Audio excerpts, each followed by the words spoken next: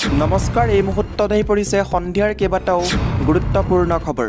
অসমৰ লগতে আন্তঃৰাষ্ট্ৰীয় কেইবাটাও গুৰুত্বপূৰ্ণ খবৰ যুগুতোৱা হৈছে আৰু নিতৌ এনেধৰণৰ খবৰসমূহ পাই থাকিবলৈ হ'লে চেনেলটো ছাবস্ক্ৰাইব কৰি ভিডিঅ'টোত এটাকৈ লাইক কৰি উৎসাহিত কৰিবলৈ একেবাৰে নাপাহৰিব।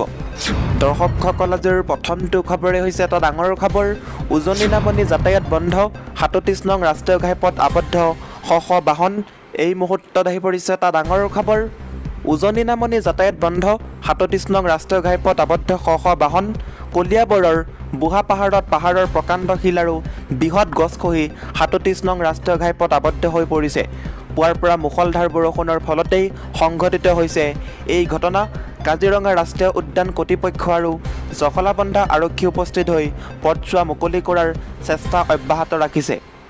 এইদৰে ধাৰাসাৰ বৰষুণ সৃষ্টি হৈ থাকিলে পুনৰ ভয়ংকৰ ভূমিস্খলন হোৱাটো এক প্ৰকাৰে নিশ্চিত হৈ পৰিছে।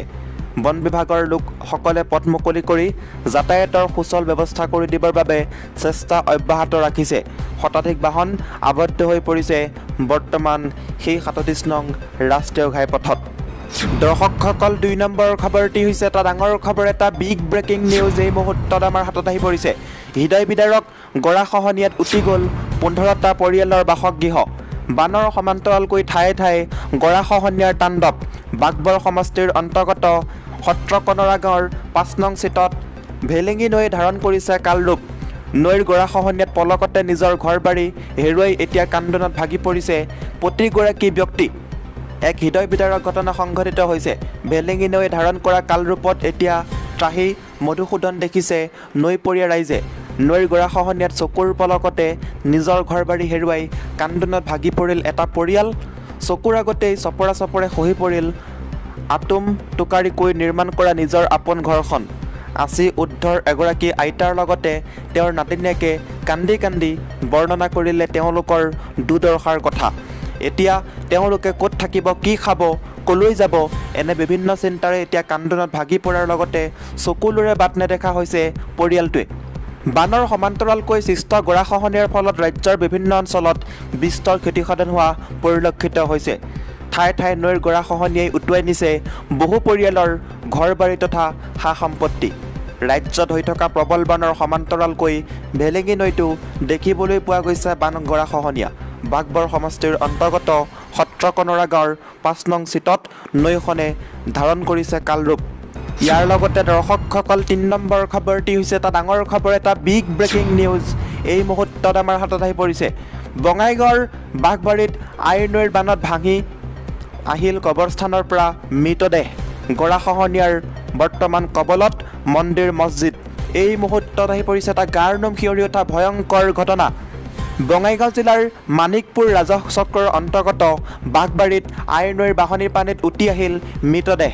আইৰ নৈৰ ভয়াৱহ খহনীয়াৰ কবলত পৰিছে বাঘবাৰী ৰাজহুৱা কবৰস্থানৰ যাৰ ফলত এতিয়া উটি আহিব ধৰিছে মৃতদেহ। আজি গ আজি খহনীয়াৰ ফলত বাঘবাৰীৰ ৰাজহুৱা কবৰস্থান নৈৰ বুকুত বিলীন হৈ কবৰস্থানত যোৱা কিছুদিন আগতে সৎকাৰ কৰা মৃতদেহটো ভাহি আহে। মৃতদেহটোৰ দুৰ্গন্ধই চাৰিওফালে বিয়পি পৰাত স্থানীয় এজন ব্যক্তিৰ প্ৰচেষ্টাত পুনত পুনৰ সৎকাৰৰ ব্যৱস্থা কৰে। বিগত দহ পোন্ধৰ দিনে আইৰ নৈৰ ভয়াৱহ খহনীয়াই তিনি শতাধিক পৰিয়ালৰ লগতে নৈৰ বুকুত বিলীন হৈ মছজিদ মন্দিৰ ঈদগাহসহ বহু অনুষ্ঠান আই নদীয়ে সংহাৰী ৰূপ লৈ অভয়াপুৰী বিধানসভা সমষ্টিৰ অন্তৰ্গত পাঁচশ আশী নং কাছাৰীপেটী প্ৰাথমিক বিদ্যালয়ো উটাই লৈ যায়। নৈখনৰ খহনীয়া অব্যাহত থাকিলে কাছাৰীপেটী একম দ্বিতীয় আৰু তৃতীয় খণ্ড অচিৰেই আইৰ নৈৰ বুকুত নিচিহ্ন যে হ'ব এয়া নিশ্চিত বুলি শংকা প্ৰকাশ কৰিছে স্থানীয় ৰাইজে। ভূটানে পানী এৰি দিয়াৰ ফলত আইৰ নৈৰ জলস্তৰ বৃদ্ধি পোৱাত কাছাৰপেটী চিলাপৰা একম আৰু দ্বিতীয় খণ্ডৰ প্ৰায় দুই শতাধিক লোক বানৰ কবলত পৰিছে। এতিয়ালৈকে বৰনাট্যৰ কাষত জনপ্ৰতিনিধি উপস্থিত নোহোৱাত ক্ষোভিত কৰি তুলিছে নৈপৰীয়া ৰাইজক। চাৰি নম্বৰ খবৰটি হৈছে দুৰ্নীতিৰ অভিযোগত গ্ৰেপ্তাৰ হ'ল নগাঁও আৰক্ষীৰ উপ পৰিদৰ্শকক জোনমণি ৰাভাৰ পিছত জালত এইবাৰ পৰিছে হাইদৰ হুছেইন। যেন বিপদে লগ নেৰা হৈছে নগাঁও আৰক্ষীক। মাত্ৰ এমাহ পূৰ্বে নগাঁও আৰক্ষীৰ উপ পৰিদৰ্শক জোনমণি ৰাভাক দুৰ্নীতিৰ অভিযোগত মাজুলী আৰক্ষীয়ে গ্ৰেপ্তাৰ কৰাৰ পিছত এইবাৰ পুনৰ আন এগৰাকী উপ পৰিদৰ্শকক নগাঁও আৰক্ষীয়ে গ্ৰেপ্তাৰ কৰিবলৈ বাধ্য হৈছে। এইবাৰ নগাঁৱৰ কাৱৈমাৰী আৰক্ষী চকীৰ ভাৰপ্ৰাপ্ত বিষয়া হাইদৰ হুছেইনক গ্ৰেপ্তাৰ কৰিলে ৰূপহীহাট আৰক্ষীয়ে। ৰূপহীহাট ৰূপহীহাট আৰক্ষী থানাৰ অন্তৰ্গত কাৱৈমাৰী আৰক্ষী চকীত ভাৰপ্ৰাপ্ত বিষয়াৰূপে কৰ্মৰত হাইদৰ হুছেইন নামৰ উপ পৰিদৰ্শকগৰাকীক মঙলবাৰে নিশা গ্ৰেপ্তাৰ কৰে ৰূপহীহাট আৰক্ষীয়ে মাটিবাৰীৰ গোচৰত বাবুল আলী নামৰ এগৰাকী ব্যক্তিৰ পৰা উৎকোচ বিচাৰি গ্ৰেপ্তাৰ হোৱা হাইদৰ হুছেইনক জেৰা অব্যাহত ৰাখিছে। ৰূপহীহাট আৰক্ষীয়ে বাবুল আলীৰ অভিযোগৰ ভিত্তিতে ইয়াৰ পূৰ্বে ৰিজাৰ্ভ ক্ল'জ কৰা হৈছিল হাইদৰ হুছেইনক পাঁচ নম্বৰ খবৰটি হৈছে এটা ডাঙৰ খবৰ লখিমপুৰবাসী সাৱধান। পুনৰ জলপ্ৰলয় হোৱাৰ সম্ভাৱনা লখিমপুৰত এন এইচ পি চিৰ মূলবান্ধৰ ওপৰেৰে বাগৰিছে পানী। ৰঙানদী প্ৰকল্পৰ পানীত মুকলি কৰি দিছে নিপকুৱে যিকোনো মুহূৰ্তত প্লাৱিত হ'ব পাৰে জিলাখনৰ বিভিন্ন অঞ্চল। সংকটত লখিমপুৰ জিলা এন এইচ পি চিৰ বাবে চকুত টোপনি নোহোৱা হৈছে জিলাখনৰ ৰাইজৰ কাৰণ এন এইচ পি চিৰ মূল বান্ধৰ ওপৰেৰে বৈছে পানী যাৰ বাবে ভয়ংকৰ দুৰ্যোগৰ সম্ভাৱনা জিলাখনত। উল্লেখ্য যে ঠায়ে ঠায়ে বানৰ তাণ্ডৱ অব্যাহত আছে। তেনে সময়তে নিৰ্মীয়মান সোৱণশিৰি প্ৰকল্পত বিপদজনকভাৱে জলস্তৰ বৃদ্ধি পাইছে। পুৱাৰে পৰা বান্ধৰ ওপৰেৰে পানী বাগৰিবলৈ আৰম্ভ কৰিছে যাৰ বাবে ইতিমধ্যে প্ৰকল্পৰ কাম বন্ধ কৰি দিয়া হৈছে। বান্ধৰ ওপৰেৰে বাগৰি অহা পানীয়ে লখিমপুৰৰ নামনীয় অংশ বিশেষকৈ ঘূনাখতি আদি অঞ্চলত জলপ্ৰলয়ৰ সৃষ্টি কৰাৰ আশংকাই দেখা দিছে। কেৱল ইমানেই নহয় ৰঙানদী প্ৰকল্পৰ পানীও মুকলি কৰি দিয়া হৈছে। প্ৰকল্পৰ জলাধাৰত পানীৰ চাপ বৃদ্ধি হোৱাৰ বাবে জলাধাৰৰ সুৰক্ষাৰ স্বাৰ্থতে প্ৰকল্পৰ গেট খুলি দিয়া হ'ব পাৰে বুলি মঙলবাৰে বিয়লি নিপকুৰ তৰফৰ পৰা লখিমপুৰ জিলা প্ৰশাসনলৈ এক সতৰ্কবাণী প্ৰেৰণ কৰা হৈছিল। ইয়াৰ পাছতে নিপকুৱে প্ৰকল্পৰ এখন গেট খুলি দি ৰঙা নদীত পানী এৰি দিয়ে। ফলত বিপদজনক ৰূপত বাঢ়ি আহিছে ৰঙা নদীৰ জলপৃষ্ঠ। এফালে সোণশিৰি প্ৰকল্পৰ পৰা মূল বান্ধৰ ওপৰেৰে ভয়ংকৰ ৰূপত বাগৰি অহা পানী আৰু আনফালে নিপকুৱে প্ৰকল্পৰ পৰা ৰঙা নদীত এৰি দিয়া পানীয়ে এতিয়া লখিমপুৰত বিধ্বংসী ৰূপ ধাৰণ কৰাৰ সম্ভাৱনাই দেখা দিছে। দুয়োখন নদীয়ে জিলাখনক এক প্ৰকাৰ ধ্বংসস্তপত পৰিণত কৰিব নেকি বুলি বহুতে আশংকা কৰিছে।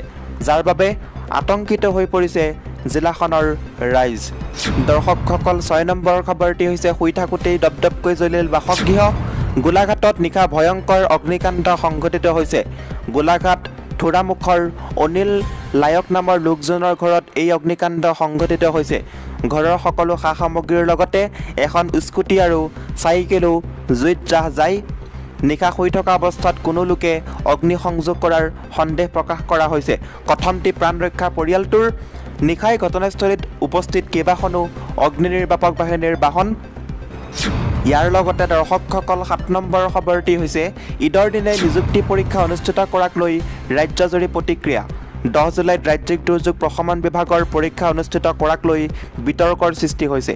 ঈদৰ দিনাই অনুষ্ঠিত হ'ব দুৰ্যোগ প্ৰশমন বিভাগৰ লিখিত পৰীক্ষা। ঈদৰ দিনা পৰীক্ষা অনুষ্ঠিত হ'লে বহু পৰীক্ষাৰ্থী হ'ব অসুবিধাৰ সন্মুখীন।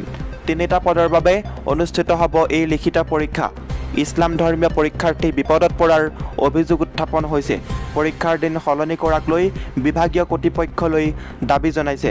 দহ জুলাইত ৰাজ্যিক দুৰ্যোগ প্ৰশমন বিভাগৰ পৰীক্ষা অনুষ্ঠিত কৰাক লৈ বৰ্তমান বিতৰ্কৰ সৃষ্টি হৈছে। যিহেতু দহ জুলাইত ঈদ হ'ব। ইয়াৰ লগতে দৰ্শকসকল আঠ নম্বৰ খবৰটি হৈছে ভয়ংকৰ বজ্ৰপাতে প্ৰাণ ল'লে ষোল্লজন লোকৰ বিহাৰত ভয়ংকৰ ঘটনা সংঘটিত হৈছে। ভয়ংকৰ ৰূপ ধাৰণ কৰিছে প্ৰকৃতিয়ে। বজ্ৰপাতত প্ৰাণ গ'ল ষোল্লজনকৈ লোকৰ। বিহাৰৰ সাতখনকৈ জিলাত সংঘটিত হৈছে বজ্ৰপাতৰ ঘটনা। সাত জিলাত মৃত্যু ষোল্লজনকৈ লোকৰ। টুইটযোগে শোক প্ৰকাশ মুখ্যমন্ত্ৰী নীতিশ কুমাৰৰ। ষোল্লজন লোকৰ পৰিয়াললৈ চাৰি লাখ টকাকৈ আৰ্থিক সাহায্য দিয়াৰ ঘোষণা কৰিছে নীতিশ কুমাৰে। এফালে ধাৰাসাৰ বৃষ্টিপাত আনফালে বজ্ৰপাত। বিহাৰ চৰকাৰৰ তৰফৰ পৰা সতৰ্কবাণী জাৰি কৰা হৈছে। ন নম্বৰ খবৰটি হৈছে অন্ধবিশ্বাসৰ ভয়ংকৰ দৃশ্য। কন্যাৰ মৃতদেহৰ সৈতে পাঁচদিন ধৰি বাস কৰিছে পৰিয়ালে। ভোক লাগিছে খাইছিল কেৱল গংগাজল এক অতিকে ভয়ংকৰ ঘটনা সংঘটিত হৈছে অৰ্থাৎ পোহৰলৈ আহিছে। অন্ধবিশ্বাসৰ কবলত পৰি এটা পৰিয়ালে কৰে এক অকল্পনীয় কাম। ওঠৰ বৰ্ষীয় কন্যাৰ মৃতদেহৰ সৈতে পাঁচদিন ধৰি বাস কৰে এটা পৰিয়ালে। নোখোৱা নেমেলাকৈ কেৱল কন্যাৰ মৃতদেহৰ ওচৰতে পৰি থাকে পৰিয়ালৰ এঘাৰগৰাকীকৈ সদস্য। ভোক লাগিছে কেৱল সেৱন কৰিছে গংগাজল অন্ধবিশ্বাসৰ বাবেই এনে কৰিছিল পৰিয়ালটোৱে। এই ঘটনা উত্তৰ প্ৰদেশৰ প্ৰয়াগৰাজৰ। ঘটনাৰ পাঁচ নম্বৰ দিনা যেতিয়া মৃতদেহৰ পৰা ওলোৱা দুৰ্গন্ধ চাৰিওফালে বিয়পি পৰে তেতিয়া চুবুৰীয়াই আৰক্ষীক খবৰ কৰে ঘটনা সন্দৰ্ভত। আৰক্ষীয়ে ঘটনাস্থলীত উপস্থিত হৈ ঘৰটোৰ দৰ্জা খোলোতেহে পোহৰলৈ আহে সমগ্ৰ দৃশ্য এটিকে দৰিদ্ৰ পৰিয়ালটো সোধ পোছত জানিবলৈ পাৰে যে বিগত কেইবাদিন ধৰি একো খাবলৈ পোৱা নাছিল পৰিয়ালটোৱে যাৰ বাবে ভোট ভোক লাগিলে কেৱল গংগাজল সেৱন কৰিছিল। আৰক্ষীয়ে মৃতদেহৰ লগতে অন্য এঘাৰগৰাকী লোককো অতি বেয়া অৱস্থাত উদ্ধাৰ কৰে হস্পিটেললৈ প্ৰেৰণ কৰিছে। লগতে ইয়াকো জানিব পৰা গৈছে যে বহুদিনৰে পৰা পৰিয়ালটোৰ বেমাৰ ভগি আছিল। কিন্তু কোনোদিনে চিকিৎসকৰ ওচৰলৈ যোৱাৰ সলনি সদায় তান্ত্ৰিকৰ ওচৰলৈ গৈ জৰা ফুকাহে কৰি আহিছিল। সেইবাবে এই ওঠৰ বছৰীয়া ছোৱালীজনীৰ মৃত্যু ঘটিছিল। দৰ্শকসকল আজিৰ এই ভিডিঅ'টোৰ মাধ্যমেৰে আপোনালোকক বহুকেইটা গুৰুত্বপূৰ্ণ খবৰ দিব চেষ্টা কৰিলোঁ। যদি খবৰকেইটা শুনি ভাল লাগিছে লাইক কৰিব শ্বেয়াৰ কৰিব চেনেলটো ছাবস্ক্ৰাইব কৰিবলৈ নাপাহৰিব। এনেকুৱা ধৰণৰ গুৰুত্বপূৰ্ণ খবৰ নিতৌ পাই থাকিবলৈ। ধন্যবাদ। জয় আই অসম।